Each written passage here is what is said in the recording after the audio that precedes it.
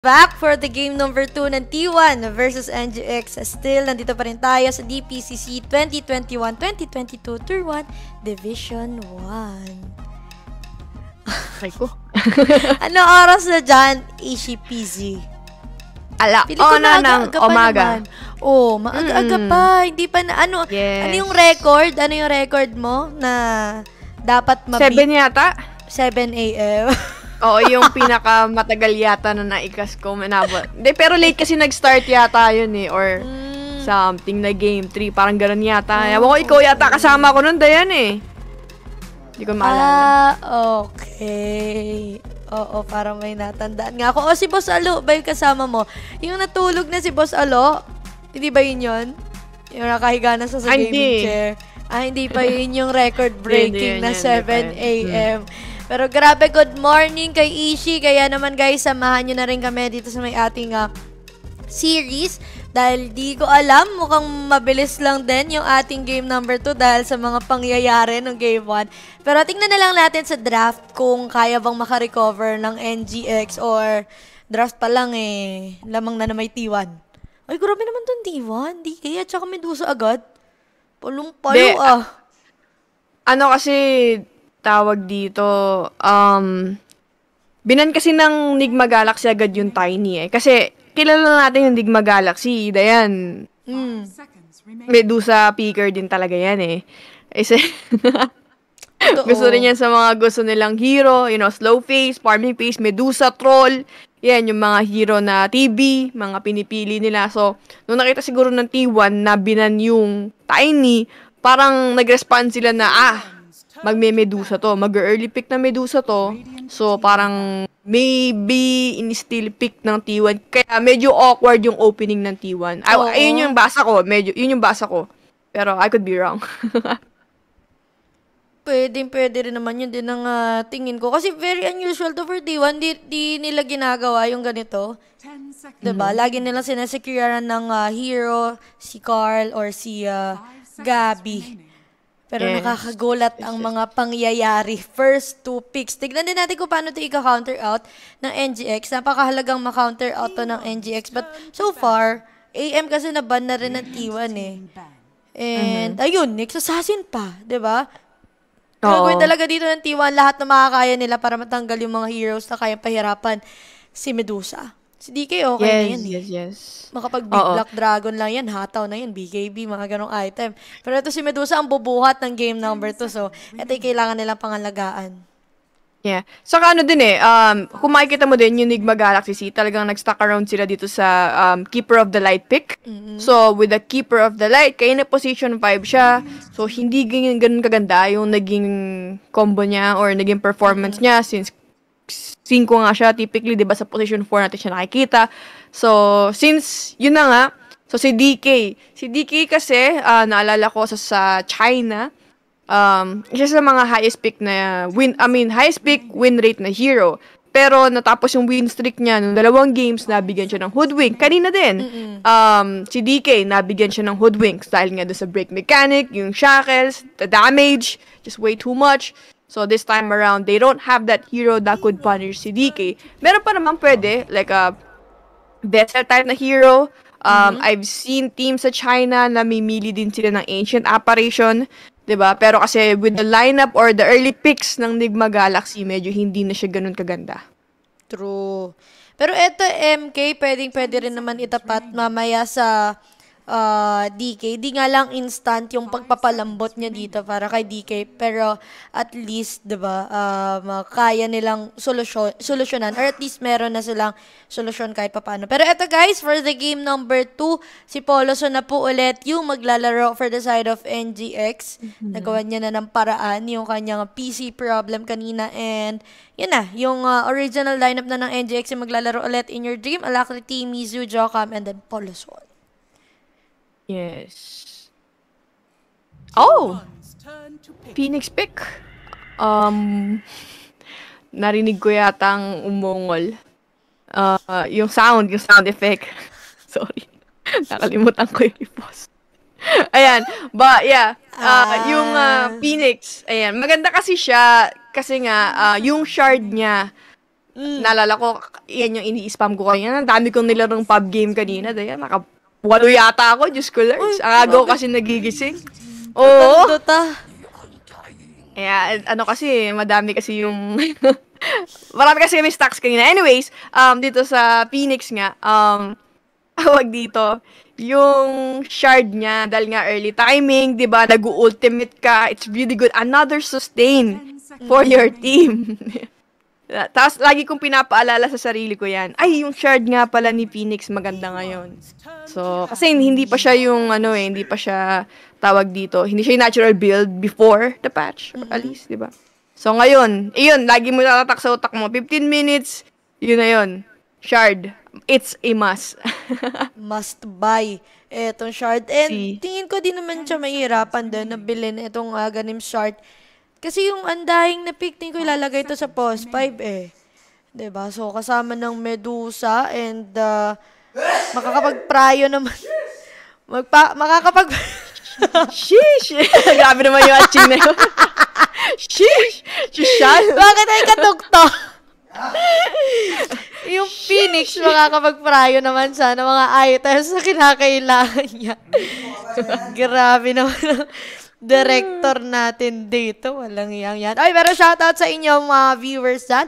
Bago natin makita yung last pick, please don't forget to like and share na rin ng public yung atin pong ah, live stream, mga sir, and happy viewing po. And shoutout lang din pala ah, kay Mark Go. Please send your prayers para kay Mark Go. Uy. Siya po ay na-admit sa hospital, guys. Oh, what happened? Do you know? Ngayon lang. Um, i-monitor yung kanyang, yung sakit sa tiyan niya, meron kasi ata siyang ano, eh, gallstone. Ah, okay. Kala ko buntis. Ay. Pero get well kay Ate Mo Mark. Yes. Ayan. Get well, get well. Kay Kike. Yeah. Mm-mm. Pero tingnan natin kung ano bang powers ng T1 sa ngayon. Pampalakas ba yan sa ngayon? O baka naman dapat tayo magkalugi-lugi. Pero ito po, Luzon, mm, makaka-make ba ng change ang pagbalik dito ni Poloson? Yun ang malalaman natin mga sir. Kasi pag support kasi ang nawala or at least pause 5, medyo minimal lang yung ano eh, difference eh, 'di ba? Compared sa pagka-carry yung nawala, mid yung nawala, yung mga usual na gumagalaw sa Oy, lane. Medyo, I don't agree. Ah, okay. Ipaglaban mo ang mga supports.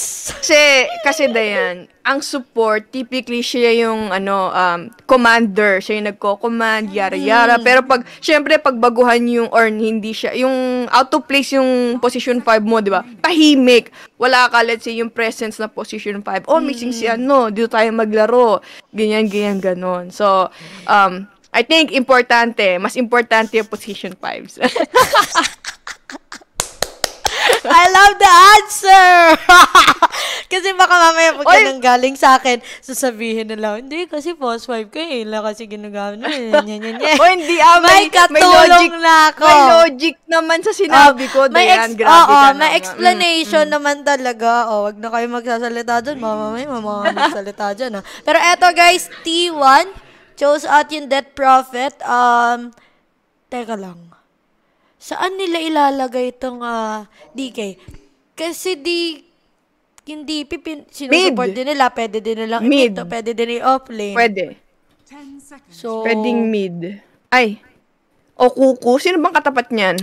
Ay, kasi hindi pa natin alam kung sino si Monkey King eh. Kung anong hero ni Monkey King. So, I guess we'll see. Siguro kung Storm Spirit mid. Ayan. Um, baka DP mid. Maganda. Pero kung carry, Monkey King, pwedeng mag-DP offlane sila. 'di ba? mm So, mga ganon. True. Pero tignan muna natin yung last pick ng uh, Nigma Galaxy Mm. C kung ano nga ba. And that's a Draw Ranger. Okay. Ano to? Offlane MK o support? Uh, oh, okay. Support. Offlane Ay, Mars, wait, what? support MK. Position 5? 5. Monkey? Yes, Hmm. 5. And then offlane na? Sige, tagalan nyo ha. Offlane na DK. Okay. DP mid. I see, I see.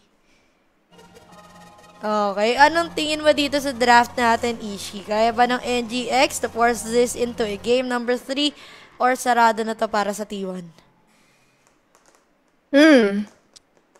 Ah, ayun na naman eh. I guess okay lang din yung um yung ah ano pangalan nito, yung Draw Ranger saka ah, Poloson combo sa baba since si Kuku plus si Zephyr naman yung magiging katapat nila. I think they should have some kind of ways to punish si Kuku sa lane. So, kung mangyayari yon I think we have a game number 3. Kasi sa, sa gitna, ano, feeling ko, medyo mas mas dikit yan eh, compared dun sa ah, game number 1 natin. Yung offlane naman natin, finally, position 4 na si Keeper of the Light. So, magkakaroon na siya ng mas mataas na level, farm, kumbaga mas priority siya. Ah, so, yun, yun lang yung aking take doon. Pero kung makaka, kung libre na naman yung lane ni Kuko dito, and, um, syempre, Kuko, Kuko DK plus DP, di ba, balagbag na naman ang tore mo dyan. Totoo. Yari talaga yan mamaya. Pero tingnan natin kung ano ba yung mangyayari. Guys, for the game number 2, best of 3 naman po yung ating laban. So sa lahat ng mga hindi pa nakakataya dyan, pwede po kayong humabol sa PNXBet. Gamitin nyo like code natin na Lupon WXC. And syempre guys, bet responsibly po tayo dyan. Comment nyo na rin kung kanino ba kayo um, nakabet sa dalawang naglalaban sa ngayon. Or ano ba yung tinayaan nyo para sabay-sabay nating mapusuan. Ay, grabe naman. Nag-comment si Arya Holmes. Pag na-reverse sweep T1 dito, papatato ako sa butas ng mm, with vid. Wow, ha? Oh, Hindi na naman tinototoo yung mga ganyan. Nakakainis kayo eh. Meron nga yung sabi, magpapakulay daw ng orange dati sa TNC. Natandaan ko yan eh. May magpapakulay daw ng orange na hair pag nanalo yung TNC. Nanalo yung TNC Saan? din naman Ay, yung ginawa. sa ano, yung kalaban nila yung UV Dati ba pa, yun? Oo, dati pa. Ay, yan. Hindi nyo naman ginagawa, guys. Fake news kayo masyado. Totohanin. Oo nyo naman. Tsaka yung makatotohanan kasi. Oh, totohanin nyo guys, iyak na si Dayan. Ay, joke lang. Ay, pero shoutout kila Adrian, kila Jeremy, yung mga Facebook viewers natin dyan. Sa YouTube naman, welcome din. Ay, sabi ni Vincent, kay Kuku daw siya nakabet. Advance happy birthday kay RJ Brion. Ayan. Ooh, happy, happy Enjoy. birthday. Guys, kung pa rin naman kayo pabati dyan, baka gusto nyo naman i-share yung live Oo stream nga. natin. Ano di ba? Diyan sa Facebook. Tapos sa YouTube naman, like and subscribe na rin kayo. Pwede rin kayo mag-support, send that stars, di ba? Para mas madami pa at tuloy-tuloy ang ating ah, tawag dito. Right? Ayan, kung gusto nyo nang walang spoilers, alam nyo nang gagawin, guys. Oo. Walang wala talaga dito, guys. Kasi kami ang mag spoil sa inyo. Yes. Hindi pwedeng kayo. Pero eto, mananakawan kaya ulit yung T1 ng mga... Ay, tinatabi niya yung sarili niya ayun, para sa courier. Ano ba yun? Pero uh, okay, for that added movement speed, saan ba ang punta dito ni MK? Mag, sabagay kasi post 5 naman daw, so pwede talaga siya maggala. Di naman maririsk yung farm niya kasi post 5 nga. So pwede siya pumunta muna ng base ng kalaban, kuha dito ng mga couriers, makakuha nga kaya ng chooks to go. Ito si Poloson, yun ang ating tanong. Ang sagot, hindi. hindi ko alam, Wala keme lang. Tawag dito. Hindi kasi hindi na uso yun. I mean, hindi, na, hindi naman sa di na uso. Kumbaga, mas maraming teams na, syempre, na alam nila yung mga posibleng ganong bagay. Kaya madalang ka na makakita ng uh, chooks to go. Mhm. Or animal cruelty. Bawal talaga yan, guys. No? Yes. Wag na wag gagawin. Pero it is a DP against a Storm Spirit sa may ah, mid. Sino bang mas makakuha ng kalamangan dito, Ishi? Um, it's, I would give the slight favor dun sa DP just because he has the uh, siphon. Ayan, meron din siyang spam. Maganda yung range niya compared dito sa Storm Spirit. So, yeah, I would give it, I would give this to Carl. Oh, okay. Kaya Carlton Tino. At ah, in terms of patayan, doon sa may gitna, ano ba yun? Medyo saktuhan lang naman, no? Kaya bang magkapatayan? Parang feeling ko. Di rin eh. Mamaya abot tayo doon sa pang-escape ng storm. Maliban na lang kung mauna mag-level 6 yung DP. And then magkaroon siya ng plus 1 doon sa may gitna. Tapos level 5 pala yung storm. Doon ko nakikita ang pwedeng mamatay si storm. Pero kung hindi mangyayari yon um, wala, wala Grabe magaganap na patayan. Wala pa Wala tayong team fight. Nagra- nagra-rap god ka na Ano kagad. lang? Mabilis mo na agad magsalita. Nagpe-predict pa lang naman. Hinay-hinay ka lang. Pe-predict pa Wala lang pang naman. Ay, pero- nangyayari. Pero ito yung nakikita natin kung paano yung ginagawa din ng support na Keeper of the Light. Kasi dun Yes. sa may ah, baba kanina, nung si 343 yung may gamit, halos same, ay, halos same lang din yung ginagawa nila eh, ba? Illuminate, yun nga lang matatamaan ng creeps. Pero kasi kapag ka yung ah, nasa radiant side kasi kayo, tapos position 4 or nandito sa may offlane side, yung Keeper of the Light, okay lang kahit ma-push mo yung lane papunta doon sa may tore ng kalaban. Kasi isa din naman sa mga job din ng offlaners, syempre to pressure out yung lane ng ah, safe lane. So dito natin mas makikita or mas ma-appreciate yung presence ng Keeper of the Light. And melee naman din etong Mars, hindi naman siya gano'ng magkaka-problem in terms of last hitting yung mga um, nasimulan na ma-damage ng Illuminate. Yes. And kasi mas madali makaposition um, kapag nasa offlane si Keeper of the Light. Mas malayo yung creep wave, mas marami kang puno na pwedeng taguan compared sa na nasa Yes. safe lane ka, 'di ba?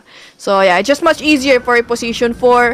Uh, madali ka rin makapag-stacks. Mabilis din yung Oo. mobility mo and at the same time, you can easily grab yung bounty rune. Dahil nga, yun nga, may kabayo ka eh, di ba?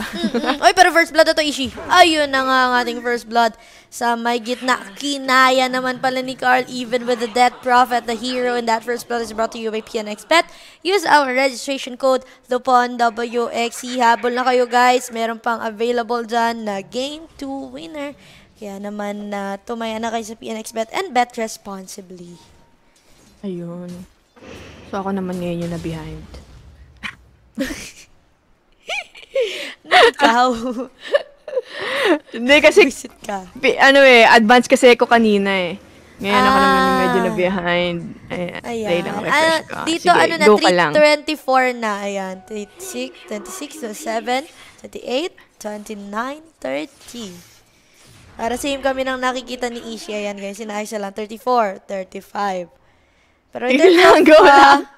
last ka pa etong levels, okay na. Hindi kasi na ayaw eh. problema, na problema din ako sa ganyan dati. Buti na lang ako ay, nung time na yun, ano ta ako, analyst ako. Nag-play by play kasi tapos na-delay, di ba? Nangyayari na, ikaw wala ka pa. Truth. Kaya, ininda ko na lang. Mahirap-hirap talaga. Pero dito naman sa mga viewers natin, wala namang ah, problema sa inyo dyan, guys. Kaya naman like and share nyo na yung ating live stream. Thank you, thank you. Mamaya, shout out namin kayo dyan ng mga nanonood. Yes, yes, yes, yes. Pero Ayun. si Gabi, nilabas na ako yung hero niya, Ishi. Anong yung- hero niya? Medusa. Yung mga lagi lang natin nakikita kay Gabi. Morphling, Medusa, Razor, Oo. PA, ayan. Yung mga talagang ina-abuse niya, Mm. umiikot lang halos dun sa may mga heroes na yun. Pero kasi yung mga heroes na yun, kapag ka nakakuha rin naman talaga ng kalamangan, pambalagbag din eh. Alam mong kayang dire-diretsohin yun ni Gabi kasi yun yung mga specialty niya and uh, aggressive din kasi siya eh. Kumbaga, um, kayang kayang tumambay sa gubat paglabas full pack na. Pero top lane natin, delegado din dito. Ito si Undying, ha? Naku po, kamuntikan pa ang mamatay. Pero nakapag DK, hahabol, babalik ba? Magkakaroon na ng illuminate pero it will miss. And Whiteman's still alive. Binibait-bait niya pa yung sarili niya, oh. Gustong gusto. Si Whiteman. Hindi, hindi na yata. Hindi niya na mahuhuli. Tawag dito. Ito rin kasi mahirap for undying eh, Dayan eh. Um, you're going against Mars, saka si Keeper of the Light. Hindi mo siya mapapunish, di ba? Ang bilis nga nung kabayan, hindi mo siya ma-rightly. Same goes with Mars. He has a really good mobility. Pero sa Uy, mid pero masyadong malalim si Carl. Gusto niya kasi sana i-push yung Tori, pero kaya ba ma-push ng mga aswang? Hindi rin niya inabutan yon And Carl, nayari na nga doon sa may gitna. Tinatlo na siya. Top lane naman natin. Nakikipagbalagbagan si Mizu kay Gabi. Pero medyo kulang pa yung panglaban dito ng offlane ng NGX. eh yata yung Carl na sinasabi mo kanina, Dayan. Ano yun? Yung ah, medyo masim-asim. Ayan. Ah. Na, ay, pero kasi pa, pabagsak na yung Tore and gusto niya to talaga ma-stabilize yung map control very early for his team since they do have the Medusa. Pero yung kasi mahirap eh, sayang yung na-stabilize mo na lead laning phase kung may mamamatay ka ng mga ganun bagay. Kumbaga, um, laking bawi nun for the middle hero ng Nigma Galaxy C. Totoo. And kung hindi ako nagkakamali, na-deny rin naman ata eh, no? Yung tier 1 mid ng NGX. Pero at least, wala nang mapupuntahan. Ito Storm Spirit. Take note, 6 minutes lang yun, guys. Mm-mm. Wala pa nga 6 minutes, wala na agad Tore, naiista yan, yung Storm Spirit. Storm Spirit sa ganitong oras, di naman din siya, di naman jungler yung hero na to eh.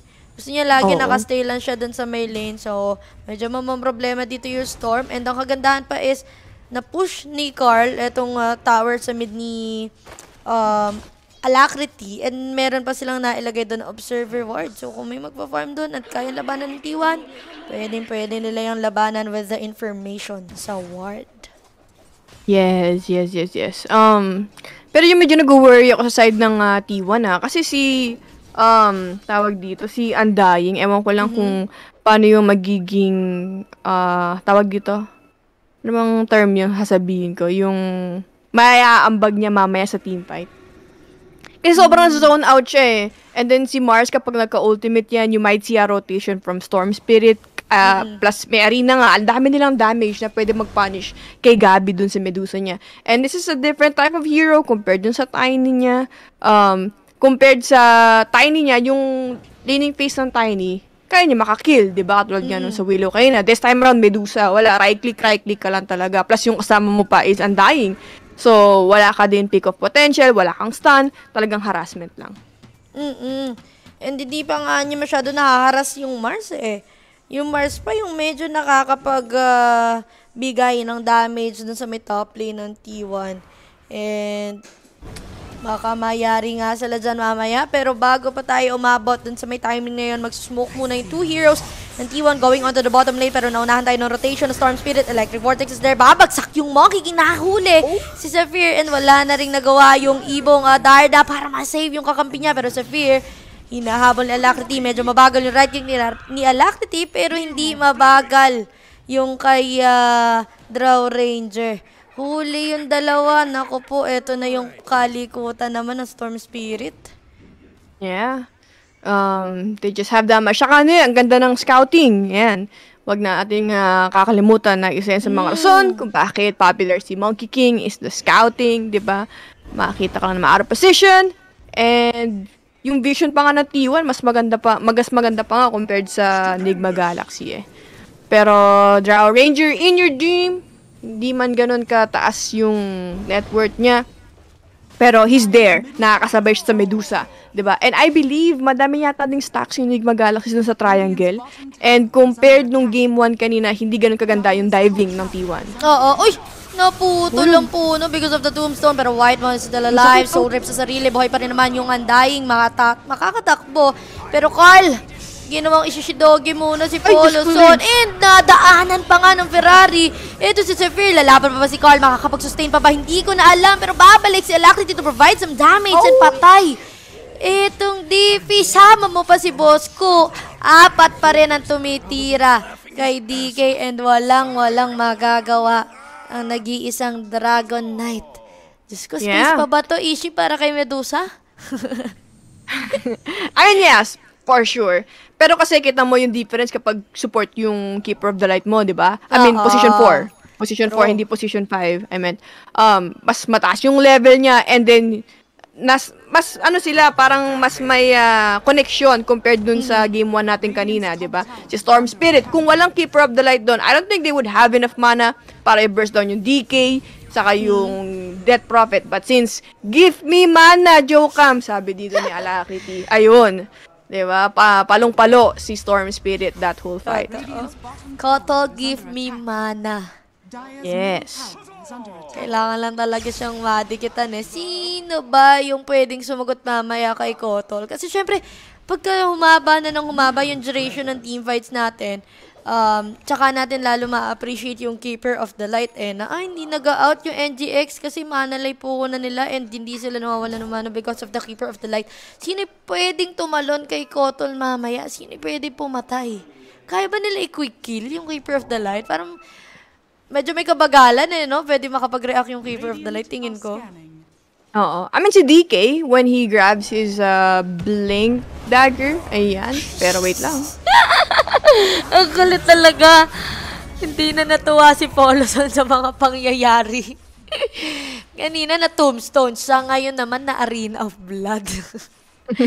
I Hindi, thought ano you're naman my friend, ah. Bait yun. Bait yun. Siyempre, magpapanik. Or, uy, nastan yung Monkey King, let's go. O, hindi nila alam. May storm, may arena pa pala na paparating. Ah, diba? dami. According to plan. Yes. Saka, wala si Poloson kanina. eh. Dutang-dutang ngayon yan. Hindi siya nakapaglaro ng game number one. Mm-mm. Galit yan. Lalaban at lalaban yan. Pero eto si Gabi. Hindi naman siya masyado napapansin. Pero stacks are provided for him. And mabilis lang ba? May kabagalan. Pero at least, second lang naman siya sa ating net worth. Kayang-kaya mag-grind all the way up. Going for the first month, uh, item manta style. Eto si Gabi. Tingin mo, anong item palalaban dito yung Medusa? Usually, skadi timing pa eh, no? Oo. Di, ano pa nga, minsan nagda-dragon lance pa ngayon sa ngayon. Hindi madedenay, unfortunately. Pero, I think Manta style ata. Kasi yung silence, plus kapag na solar bind ka, di ba? Yung pa pala yung pwede maging problema ni Medusa sa team fight. Wala na nga siyang mobility. Kapag na solar bind ka pa, na-blast ka pa, di ba? Ang hirap, ang hirap for Gabi nito later on. So, kailangan niyang galingan yung kanyang farming pattern. Nahulog na naman sa puno. Naputol ang sanga ni Poloson. Kaka tingin-tingin niya eh. Kaka sightseeing niya yan eh. Yan, no, huli ka, Balbon. Pero at least alam na ni Poloson, ayan, no, piniping niya na na merong ward dun sa may cliff. Yes, so true, so true. Um, and I like this, Nigma Galaxy C. Finally, they have a vision sa triangle. Mm. And um, next time na mag-farm si Gabby doon, they could punish that hero, pero mukhang T1. They, do they see this? Oh, nag-scan yung Dire. So, alam nila naman nagpa-farm. Di lang nila knows exactly kung sino. Pero pupuntahan na nga nila and that is sino tong teal? Ah, yun si Alacrity. May zip zap out naman din siya. Wala pa namang big item dito si Alacrity para makapag-escape. Agad-agad sa lockdown ng T1. Pero hindi. Nag-out din si Alacrity. Wala nahuli. Itong Oo. T1, sasamahan na lang nila. Ito si Gabi sa baba. Yun na lang naging ending. Mm. Hindi kasi medyo sketchy ang lalim ni Gabby dito. Kita mo naman, di ba? Ang mag-isa yan. So, alam nila ah, na may plus plus one or plus two sa likod yan. Mm-mm. Yung tamang-tama ang hula doon ni Alacrity. Meron ngang kasama. Etong ah, Medusa. Ay! Mali ang na-stun. Illusion ni Poloson. Pero Poloson patuloy pa rin siya ng gugulo ha. Kahit na namatay siya kanina. Kumbaga tinatry niya, tinatry i-detect kung nasaan ba yung mga obs, nasaan ba yung ah, mga detection ng T1. Information provider lang muna si Poloson. And decent rin naman yung level niya eh. After ng Oo. Orb of Corrosion, level 7, di na naman kailangan Pero- dito ng mataas-taas na level eh. Ang hirap pala dito para sa side ng T1, ano? Kung, ah, kung makikita mo, like, kulang yung jump heroes nila. Kasi, yes, problema mo, si Keeper of the Rat. At the same time, si Drow Ranger din eh. Um, kaya ka nga nag-Drow Ranger this game kasi you can outrange si Medusa sa fight. Tapos, di ba, meron kang arena, meron kang Wukong's command. So, I feel like it's gonna be hard for Gabby to single-handedly carry this game. So, kailangan ng uh, magandang item progression or mabilis na item progression dito ni Kuku. Same goes with... kasi, puro sustain sila eh. Like, kanina, di ba, may sustain ka, but at the same time, meron kang save, which is yung apotic mo. Kay, ah, yung mga support, they kailangan nila mag-invest ng 4 staff, Lotus, mga ganyan, para... Oo. Para naman talaga makapatay sila. Pero eto, speaking of patay, Whitemon is gonna die. And, okay. Sabi ng T1, sige. Saktong smoke breaker lang naman talaga dito. Eto si Whitemon. So, pwede na. Yes. Mm, pero yeah, chilling muna yung T1 dito. Maybe they can grab a good fight, kill one or two heroes, core heroes. Tapos, masecure nila yung Roshan. Since meron naman silang uh, Death Prophet. Pero yun nga, medyo nakakatakot for the side of T1 since hindi sila ganun ka ahead. And eto nga, si Monkey King. Alam mo yung minsan na laging minamamata sa'yo, eh, hindi mo alam, nasa CCTV ka pala. Oo. Tapos hindi mo alam, unti-unti na palang kumokonek yung mga kakampi niya. para Yeah. patayin ito nga naispatan nila. Pero at this point, um, nakikita-kita pa lang naman nila kung ano yung item ng Medusa and uh, tinatansya-tansya pa ng NGX kung kaya ba nilang labanan yun. Pero sa ngayon, hindi pa nila kayang labanan kaya di nila i-force out yung Medusa pero kakalma muna etong ah, NGX DK ni Kuku, magne-next item siya dito ng BKB. Ano ba yung needed items ng T1 para talagang makalaban na? Kasi ngayon, nakikipagsabayan sila sa idle time ng NGX eh. Mm. BKB? I mean, yeah, uh, BKB. For sure, for sure. May blink ng si Kuko, di ba? Tama ba? I don't know. Hindi ko kasi nakita eh. Pero yeah, kulang pa. Kailangan pa rin ng BKB. Four staffs, I think, sa mga supports. Pero wait lang. Oo. Kitang-kita nga yung plano dito ng T1. Oh, pero tumalo na dun sa may likod yung Mars no Arena of Blood because of the silence Oh, yung niya in! Mars. Nahuli na nga. Aegis will be secured by Alacrity. Pe, That's ay, so hindi. sad. Walang nakuha. Ishi yung T1. Niisip ko kahit gold man lang eh. Wala. Nakakuha din Meron dito guys. naman. Radiant. Radiant ang nakakuha. Si Kumari, nakuha niya. nakuha nila. Ay, si ayun, si Mars. Yun lang. Pero yung Si Rush Kumari Gold, Mars. Yes, Wala, oo. guys. NGX Hindi naiwan kasi siya sa loob eh. Saka na tawag dito, na, na disable siya nung Storm Spirit na silence din, I believe, yung ilang heroes ng T1. Kaya hindi sila naka-back up kay, ano, kay, uh, what's his face name? Kay Gabby. Yes. And Aegis para kay Storm, 4 minutes pa yan. Mas magiging matapang lalo si Alacrity na mag-show ng mga lanes going for the next item, BKB. Etong si Alacrity and kalma muna Yeah. ba yung T1? Cooldown din kasi extra ng 1 minute eh. Plus yung BKB timing sa T1, wala pa rin sa ngayon. And eto yung hindi kakalma kasi nasa kanila yung Aegis. And huli na nga yung ibong Adar na, Oy, one more right, nag-miss! Uy, evade, evade! Pumutok na lang. Kala mo, Kala ah. ko eh. Mm-mm. Ayun nga, ayun sinagot naman ni tropa. Yeah, iisa lang yung, ano nga, iisa nga lang yung stun ng ah, T1, which is a DK, and I believe nagamit nila na rin yun kanina. They do have the silence, pero naka-silent din, I believe, si DP kanina. So, yeah, medyo mahirap talaga yung follow-up na yon.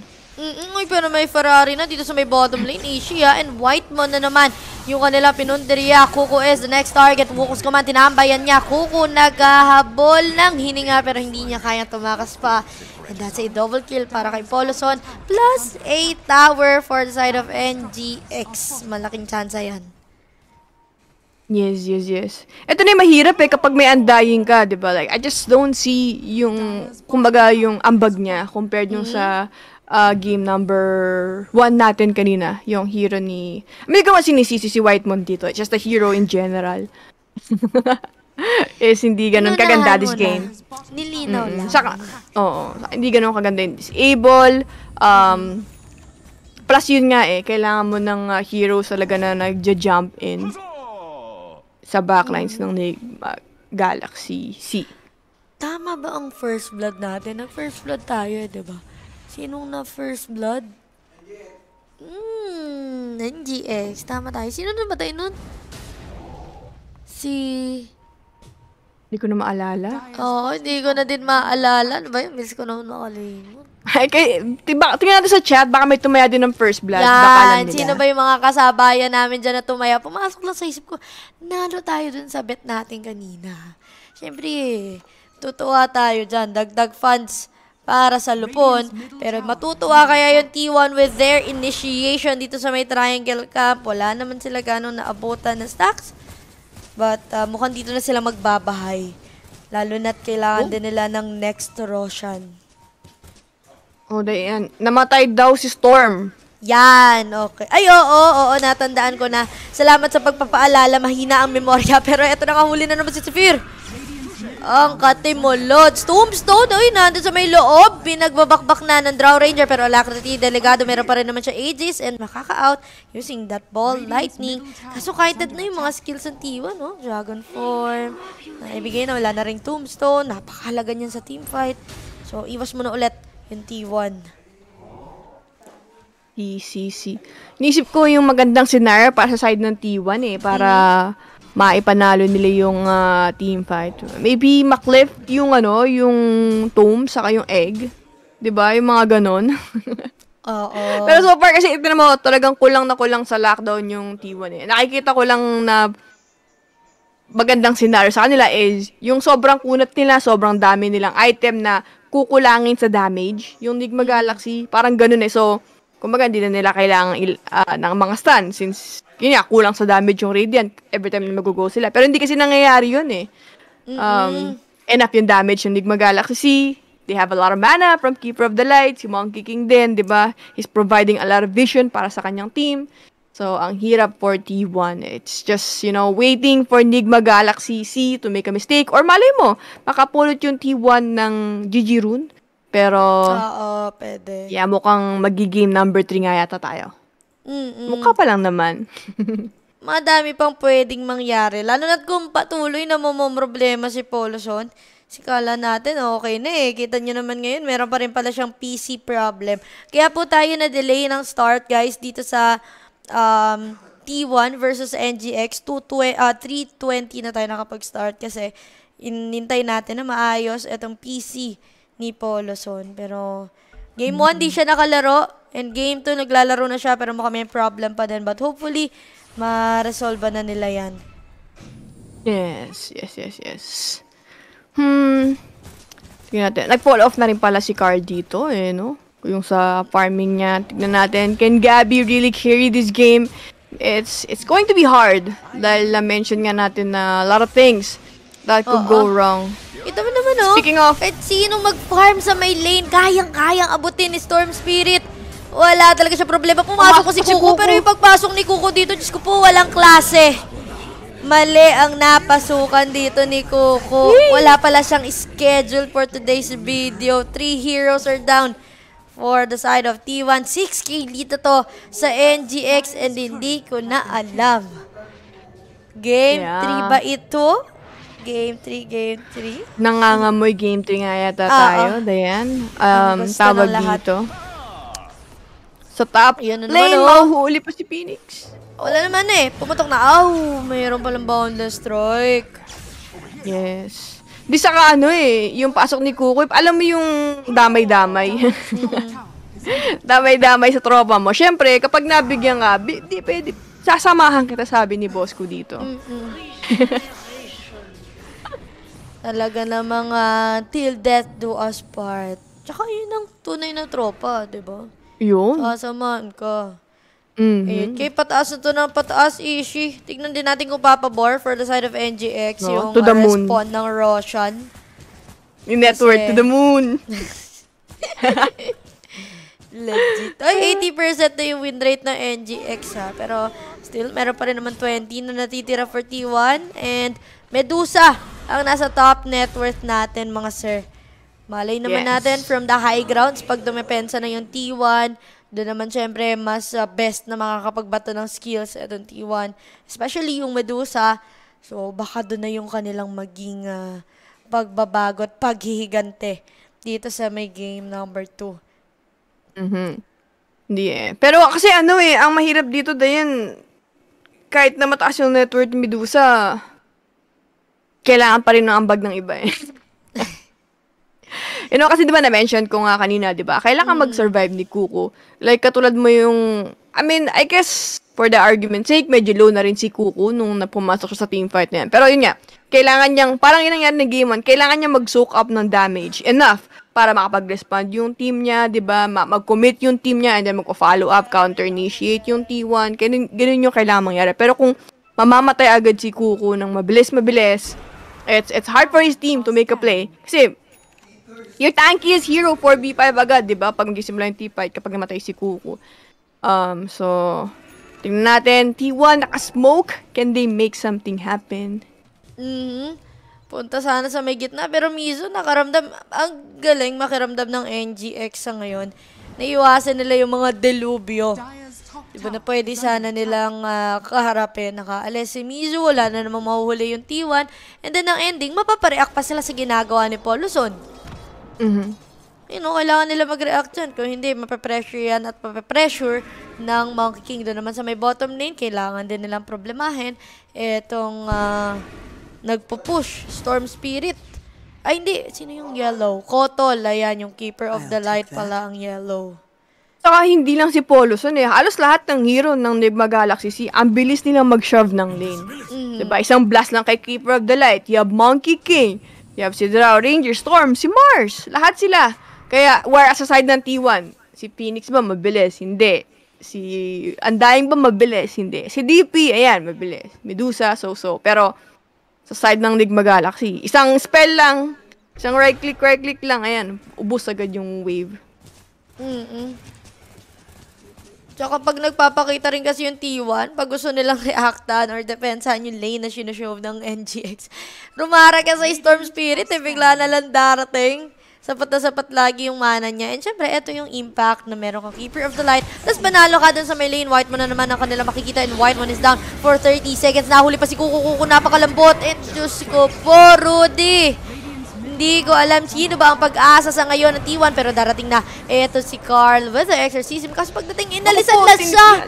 tinipihan. Na sa face and ang pakonsuelo is si Mizu, the off-laner ng NGX pero babalik sila. JK lang. And after, the EXO and Godlike na to para kay Alacrity, ano, kayo naman ba'y mag-GG agad-agad? Give me mana. Ay!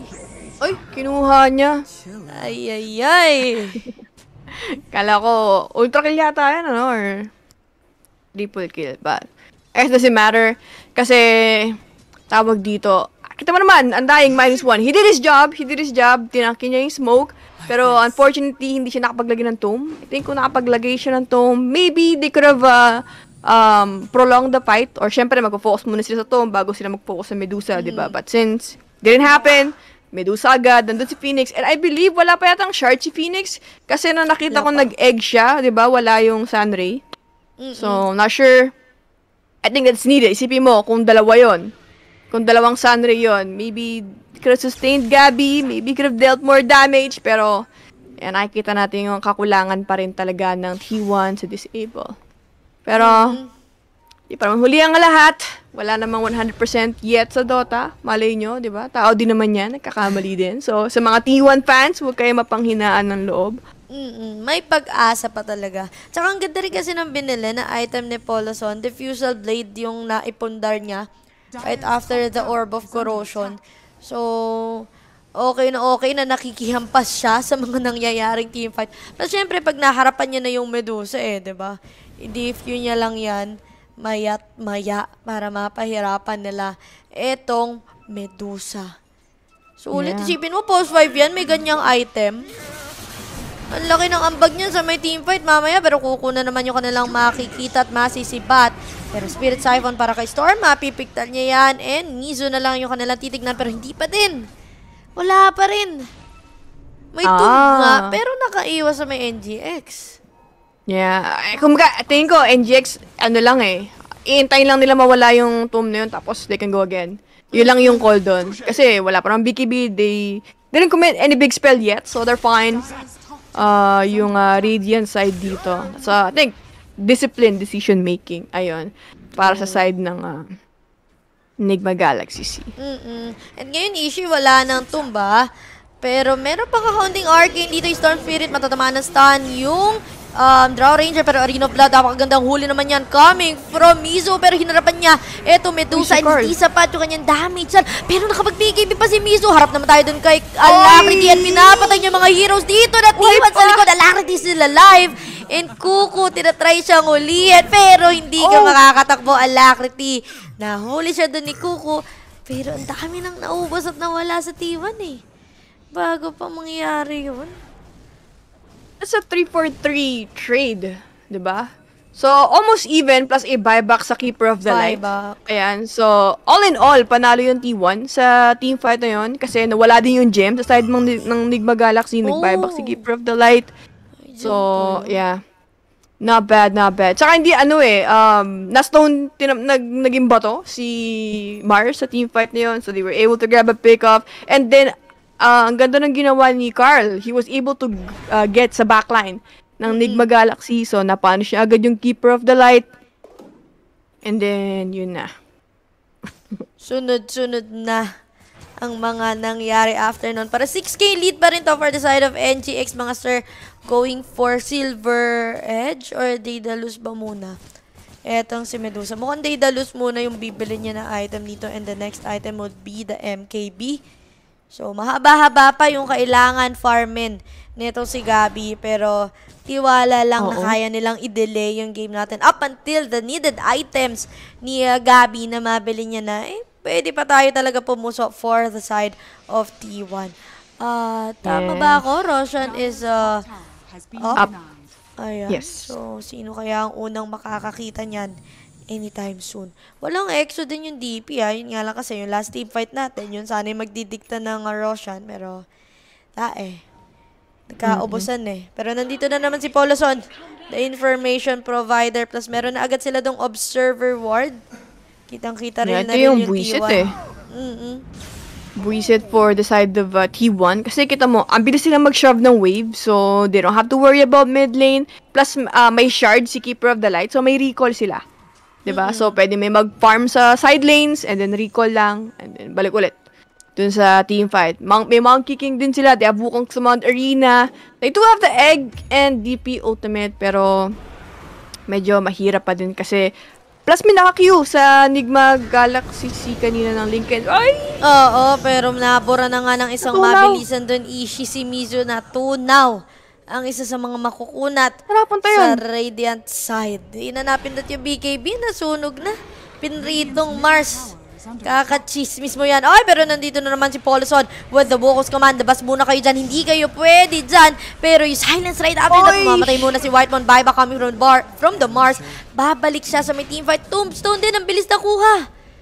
Hindi ito ganun po problema eh, ng NGX. Pero ngayon tatakbo muna sila Carl Nassib at BKB nagamit niya na rin. Pero humaharap na naman ito si Kuko. Sino ba talaga gusto niyang target? Haharap sila ngayon dito kay IYD. Pero IYD with the BKB makakatakbo right after that. There's the stun. Mahuhuli ngayon si IYD. Pero makapagmantas tayo. Buhay pa!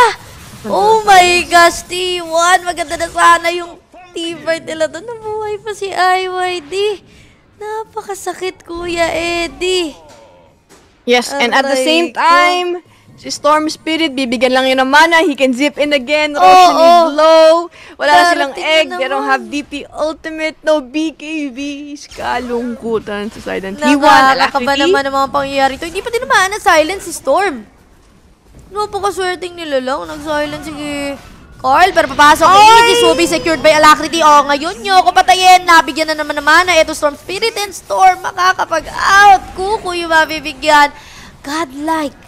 Para kay Okay, si Ay, Carl. Carl. Ngilangat ka. Very good. Oh, isa pa. Konti May- pa. Kaya pa. Oy, Oh. siya na lang yung kumain. Ay, hindi. Oo, siya na lang ang tumapos. Pero eto, tatapusin din si Whitemon. Buti na lang, buti na lang.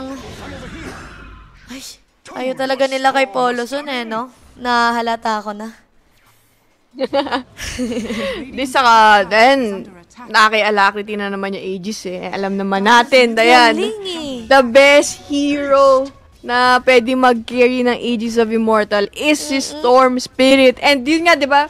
Typically, after a huge team fight, wala nang mana si Alacrity, wala nang mana si Storm. But then, you have Kotol, may recall, may mana. Di ba, bigyan mo lang ng mana, pwedeng pwede na ulit. Ay, ay, ay. Rocks na ba ito? Ay, hindi pa buhay na yung T1. Baka hindi pa. Hindi pa siguro. Happy yung mga nag-YOLO. Guys, ilan yung naabutan yung odds dyan? Ilan yung naabutan yung odds? Game 2 times 2 pa yata yung match or game 2 winner pala. Sorry, pero Mizu madadieback muna siya. 100 seconds down. Pero matapang si Alacrity because of that Aegis of the Immortality. And Alice right after the kill and reset from NGX. Pero tatry humabol na Gabi ha. Itatry niya. Mana? Paano? Ay, hindi. How? Eh. Igagapang niya. Na, joke lang. Hindi kasi Medusa yung hero niya, di ba? So talagang kailangan niya igapang yun kung gusto niyang makahanap ng ah, kill. Ayan. Mm-mm. Pero tawag dito, pag nakapag-BKB pa yung Monkey King, much better, talon-talon lang, scouted si Kuku, okay? Calling the forces of Digma Galaxy, I spotted Kuku sa top lane. Eto na. Nagtawag na ng kakampi. Naispatan, nahuli. Iba talaga yung vision provided by Poloson. Wala. Ang hirap Easy. nito. Ishi, ba ano bang kailangan gawin ng T1? Mabigyan mo lang natin ng pag-asa yung mga tropa nating nag 2-0? Ah... Hindi ko alam. Hindi, joke lang. ano, ah, pwede siguro sila mag-dive sa may shrine, I mean, sa, sa may well, ayan. Oo. Sa fountain, and then ma- ma-dive back si Storm Spirit, 'di ba? That's an Aegis, mapatayin nila, tapos walang buyback yung Storm. Tapos yun, they could just end the game.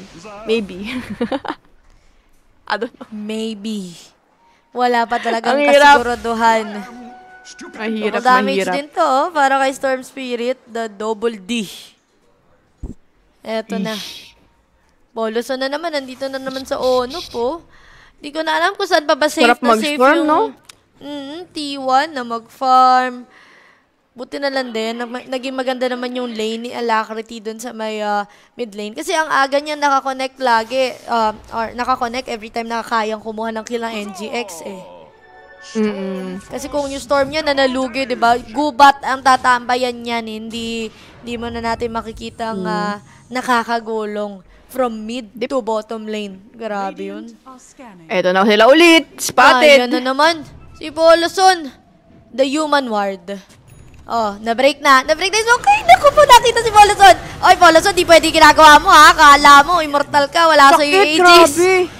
Wala sa Aegis, cow. pero haharap si In Your Dream using that BKB. Tatapangan pa niya, pero napakakulit ni Alacrity. Wala na siya mana doon sa may likod, pero lumalaban. Grabe. Eto si Kuko, gusto niya sana'y Draw Ranger, pero hindi na alam ng T1 kung sino ba talaga yung uunahin nila.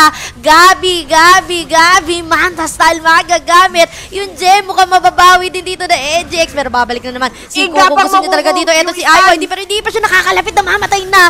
Yung DK and sabay pang pumanaw yung magtropa. Kuko and Gabi, wala Okay, na. Bumalik three. si Whiteman, pero mukhang nga game 3 nga tayo dito. Um, easy peasy. Grabe na wala si Carl sa team fight na yon. Kung hindi siya nanigas dun sa Stone Gaze ni Medusa. Diyos ko, Lords, umpisa pa lang patay na agad si Carl. Pero, yeah, it didn't matter since siya, isa rin siya sa mga naunang namatay sa side ng T1. Yeah, just way too hard. Even, even if may buyback yung Dusa or, um, tawag dito, DP dito, they don't have exorcism, so wala, di rin nila mapapatay to. And, yun nga, di ba, they just don't have this able. Wala silang pang jump in sa backline, so that's, that's what you call a last pick. Di ba, compared sa last pick ng Nigma Galaxy C kanina. Mas maganda yung last pick nila ngayon, mas na, mas na gamit nila na ah, aga, ah, nasulit nila si Keeper of the Light as a hero. Saka, ayun na nga. Ah, ang ganda rin ng ah, transition nila. Sa kailangan talaga din si yata si Poloson. Si Poloson yata talaga ang sagot. Mm-mm. Tsaka yung mga ganyang hero, di ba? Yung mga maliliko talaga. At saka yung mas may kayang gawin sa lane. Kasi mas kayang mangharas ng MK sa lane compared sa kapag ka position 5 na Keeper of the Light, eh, di ba? At least etong MK, uh, yung skills niya hindi naman nabibigay or pwede mong kontrolin eh. Pwede mong iiwas dun sa may creeps, Keeper of the Light. Kasi pagka dun na, pagka may hero kasama ng creeps, mahirap yan iiwas eh. Di mo yan matatagilid. Talaga mapupush mo yung wave. Pero 24k lead na to for the side of NGX Ishi. Hihintayin pa ba ng NGX yung next Roshan? Mukhang respeto lang din naman. Kailangan respetuhin ko din ng T1. Oo. Saka medyo mahirap din kasi Draw Ranger lang yung pinaka-right click nila sa Torre. Di ba? Medyo risky. So, kailangan talaga nilang makapatay muna bagong maging komportable yung Ligma Galaxy na mag-siege ng high ground pero they're smoked up. Yup, and huli na naman si Mang Gabi. Pero Mang Gabi instantly makaakyat sa may high grounds. All or nothing na yung T1 para kay Mang Gabi. Dahil hindi na to pwedeng ah, magkamali pa or di na sila dito pwedeng ma-behind. Dahil alam na natin ang kalalagyan. Game number 3. Pag nagkamali pa, yung T1. Medyo mahirap ta kasi 25k net worth lead. Ilang items ahead yan dahil ibig sabihin, di ba? Ah, compared sa heroes ng T1 dito. And, um, I mean, siguro kung si Medusa yung strongest hero this game, he could be the strongest hero this game, pero hindi siya nasa top net worth, and at the same time, he doesn't have the mobility needed para makapag-penetrate dun sa backline ng Enigma Galaxy. So, this is a really, really hard, um, tawag dito, chance for T1 na nakikita ko na makakaback sa game na to. I mean, siguro Mukhang, merong ah, 0.00001 probability na makambakan nila tong game number 2. Go next na lang, no? See, go next, go next. Best of three Pero naman. syempre, alam mo naman, pero syempre, alam mo, Dayan, Pinoy tayo eh. Hindi tayo nag-GGG. Kailangan Oh, bumas, mabasag ang throne. Ayan. Or yung talagang patay na kayong lahat, wala na kayong buyback. Ayun, maybe. Mm-mm. Maybe you call GG na. Talagang pinaglalaban natin yan hanggang dulo pero Whitemon, nahuli na naman and Whitemon is always the first to fall. Oloson with the BKB, Wukus man magagamit, makakapag, live silang kakonte pero lalabas sa Arena of Blood. Yun nga lang patay pa rin naman si Poloson pero binabakbak ngayon ni Mang Gabi si Mizo. Uh, nasa bugan etong si Mizo, naging bato rin siya pero darating na si In Your Dream. Eto na yung bida, same goes for the Storm Spirit. Naku po, wala Ayun, na BKB. Eto si Kuya Mukukuboy pa rin si Mizo and na-sustain or nabigyan pa ng Glimmer Cape. Hindi na nila napatay-patay yung mga gustong patayin ng T1. Lungkot na lang at pighati ang kanilang naramdaman and we are gonna go sa game number 3. Yes! Ayun na nga. So, let's see. Let's analyze that game. Um, I would... I wanna say again, it's, it's because of the draft. Kasi kung maaalala mo, Dayan, DK Dusa, di ba? Mm-mm. That's not the strongest first two picks that you could pick sa isang drafting phase. I think, in, in my opinion, it could be a um, steal pick na dapat gagawin ng uh, team. In-steal siguro nila yung Medusa sa side ng Enigma Galaxy. Nabaasa siguro nila na baka mag-Medusa yung Enigma Galaxy. Pero kasi nga nangyari doon, ang pangit nung um, tawag dito. ang awkward ng um, first two picks nyo, di ba? so, I think that's what happened. Ang aga ng Medusa pick, then DK, tapos um, finally, position 4 na si Keeper of the Light, na-amplify na Storm. And so, yeah, yun na yun. Yes. At pinipigilan mo pa tumawa. tumawa ka lang, Ishi. Para happy lang talaga tayo dito. Pero ang dami rin nagsasabi na in terms of uh, draft, nagka-problema nga rin daw talaga yung T1. Di rin nila nagustuhan yung draft ng T1. Pero We'll see sa game number 3. Basahin na lang natin kung ano ba yung magiging draft nila. But for now, mag-take muna tayo ng quick break. Don't forget to like and share na ng public yung ating live stream sa mga Facebook viewers and sa YouTube naman.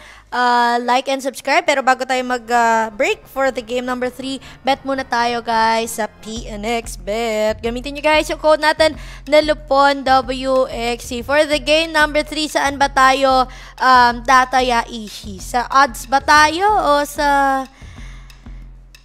alam nating kaya. Ikaw. Eh, ako na nag-predict sa first two games eh. Ikaw na ang decider. Eh, Ay, la. Ikaw na lang direct mag-decide. Eh. O, T1, May pre-bet T1 ka daw. ba yun? Sabi ni direct T1 daw tayo. Oo, Okay. yun, yun daw.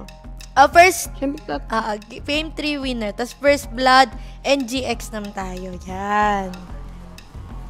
Ah, grabe dito. Tayang-taya ka, Diana.